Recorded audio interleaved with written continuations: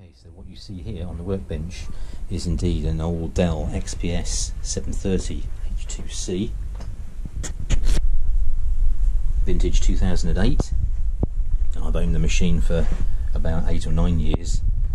Um, it was sold originally into Switzerland the first four years of its life, and having now done 12 years of service, I thought it was probably time that the old girl received an upgrade that was worthy of this magnificent case. And just look at that case. It's the most fantastic thing, isn't it? Solid black aluminium, anodized aluminium case and chassis. 1.6 mil thick.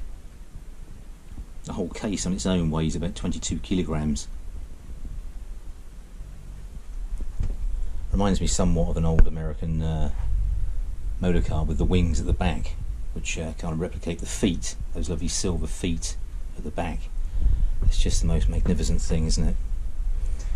So it's now received the uh, the heart and lungs which it deserves in 2020 to retain its position in the uh, the gaming arena. So you can see, we've taken the side panel off, and uh, behind that wonderful aluminium side panel with that glorious glass X which has been laser cut into it we see that the old Dell motherboard H2C water cooler and uh, just about everything else has disappeared. And in its place you can see a brand new Asus B550 TUF Gaming Plus motherboard which has been fitted with uh, an AMD Ryzen 3 3100 CPU, 4 cores, 8 threads, and we've uh, replaced the stock cooler with um, the AMD Wraith Prism cooler, which is a fantastic affair. Um, we've retained the um, original master control board, as you can see just up there, and its functionality which drives the front and rear theatre lighting in this machine and that's still fully operational. The old original graphics cards have been replaced and we have in here uh, two Sapphire Dual-X R9 280X graphics cards. They're 3GB overclocked graphics cards and they're running in a Crossfire X configuration and that will supply the uh, owner with enough graphics power to do any 1080p gaming that they uh, that they wish. So that's a nod to the original uh, setup of this machine in its Dell years when it had uh, twin graphics cards. Not of this vintage; they were slightly older. So as you can see, it's been uh, completely rewired. Uh, we've retained all the original features of the machine, including the four removable drive bays, which are still wired to accept um, SATA drives, five and a quarter inch drives or three and a half inch drives, whichever you prefer. Okay, so the machine itself has um, been furnished with a uh, NVMe uh, boot drive, a 500 gigabyte NVMe boot drive which sits just above the processor and fan unit just up there as you can see between the first graphics card and the uh, CPU so that's a PCIe 3 PCI 3.0 uh, NVMe uh, SSD um, it's uh, it's a Kingston A2000 and that will do uh, 2200 megabits per second read and 2000 megabits per second write. So it's a uh, fantastic uh, addition to this machine. The case has also been uh, refurbished with um, Cooler Master fans, front and rear. They're all ARGB fans, as is the Wraith Prism on top of the CPU. And there is also a uh, ARGB lighting strip which runs across the bottom of the machine the original wiring's all been tidied up, the new wiring's all been uh, cable tied and neatly clipped to leave the proper air paths and airflow that we need in this machine now that it's been upgraded with this uh, new motherboard. So the motherboard's an uh, ASUS uh, TUF B550 Gaming Plus with all the uh, brand new features of the B550 chipset, uh, including PCIe 4 and various other features. This particular machine's also been uh, fitted with uh, 16 gigabytes of XPG ARGB memory, which sits just to the left of the processor there. So, what we'll do next is we'll uh, we'll power it up so we can see exactly what we have. This machine is currently around about 20 seconds, and to power it up, we'll, uh, turn this lighting off so we can get a better picture of what's uh, what's happening.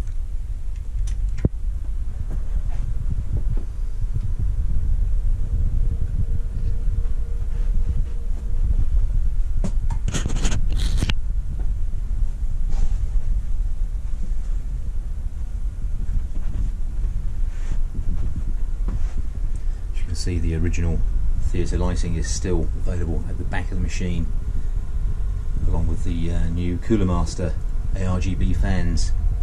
And as you can see we're already up in Windows 10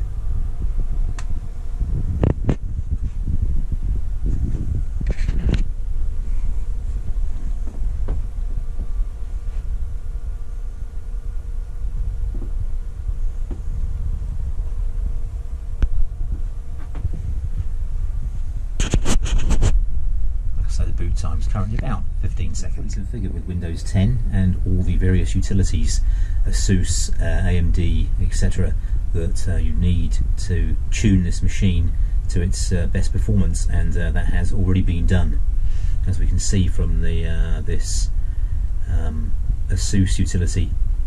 Uh, fan expert has been configured, so all the fans are thermally controlled via the VRM case temperature and the temperature of various other parts of the, the system. That's all been fully configured. The CPU has uh, been currently overclocked by about 5%.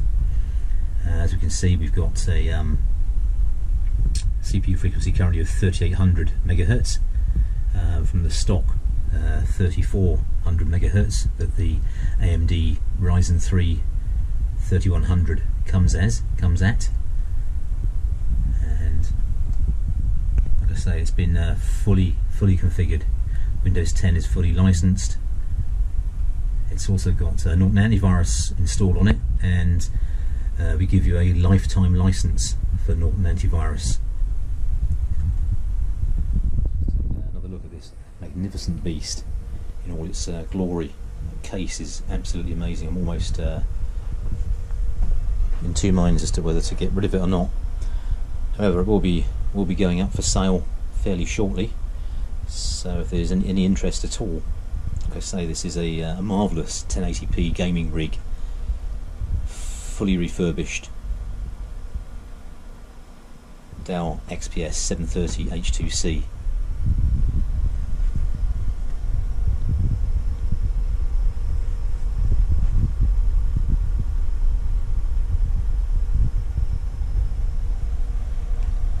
Running virtually uh, virtually silent. So the fans have been configured correctly with Fan Expert.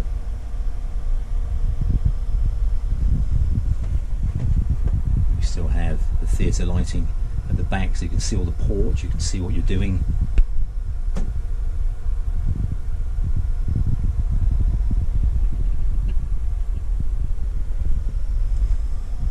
And the same at the front.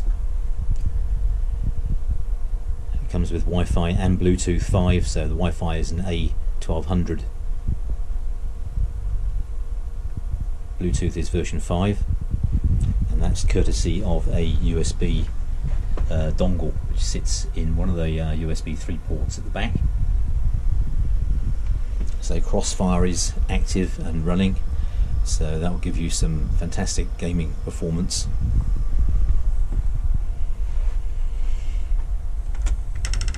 the original Dell XPS uh, front panel has been retained and behind there you can see um, there is one of the the original uh, USB 2 card reader and we've also fitted a brand new USB 3 card reader which takes SD and micro SD and it's got a type C socket and two USB 3 sockets on it as well. Uh, the old USB 2 one which we've retained and is still operational uh, contains slots for uh, again uh, SD uh, MMC compact flash and XD and various other memory card formats. And so they're all they're all operational. Uh, there's also a Blu-ray reader CD-ROM reader DVD reader writer so there's a DVD burner in there as well.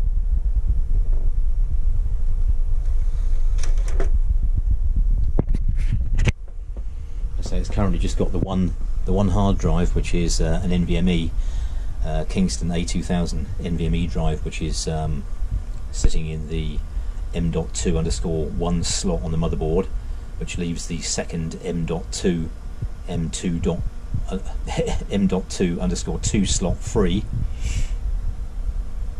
so you could fit another NVMe drive in there if you so desired all four of the uh, three and a, five and a quarter inch uh, hard drive bays are currently free and everything is wired and ready to accept drives if you want to do so. So we've retained the, the Dell master control board which is uh, lit up just there to the left of the motherboard and we've retained that to give us uh, two additional internal USB 2 headers and that also controls the um, theatre lighting on the front of the machine and the rear of the machine.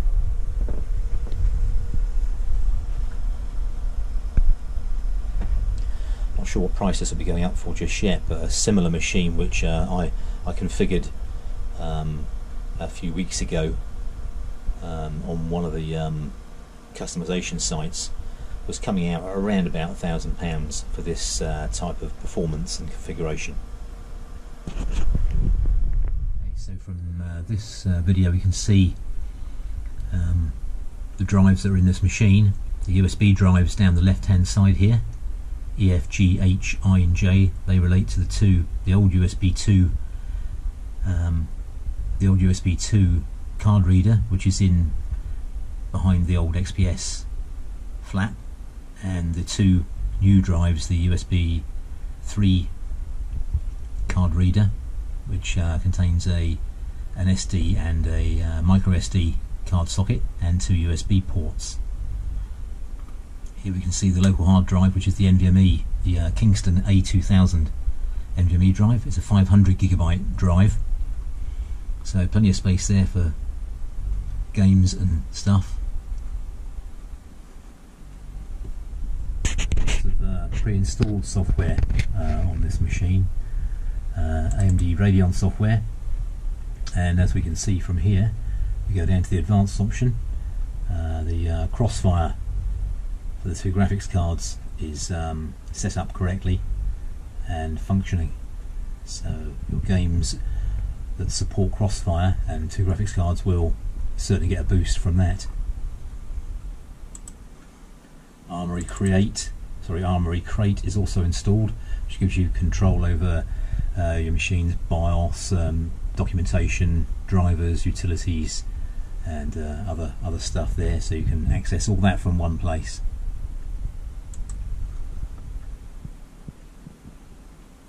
Let's say Norton Utilities or Norton 360 comes uh, included with this machine, and that's going to be a lifetime uh, license for that. So you wouldn't need to worry about that once uh, once you have the machine. AI Suite 3 which gives you access to Fan Expert, the fan tuning, um, CPU frequency, uh, all the voltages, temperature and other stuff, all the statistics you, you would ever need to look at with this machine. So it's all been pre-configured and tuned and set up correctly.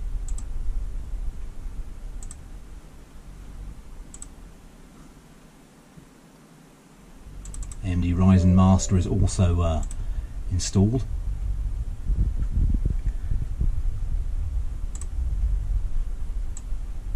Which gives you uh, an overview of how the processor is running, voltages, clock speeds, so on and so forth, and uh, your ability to change various settings and tuning to do with the, uh, the AMD Ryzen 3 3100 4-core processor.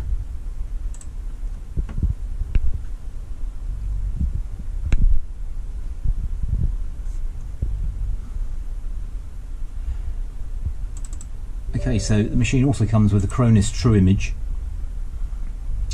which uh, you can use for backing, backing up your hard drive, uh, amongst other things. Let's just get rid of that. It's the free version which comes with the um, came with the um, uh, Kingston A2000 NVMe drive, which is your boot drive, and you can do lots of stuff with that. You can uh, clone disks, backup stuff. Uh, there's lots of other tools on there. Um, there's a uh, Acronis Universal Restore, uh, Media Builder, Rescue Media Builder, uh, and so on, and lots of other features there, which are all included, all installed and configured.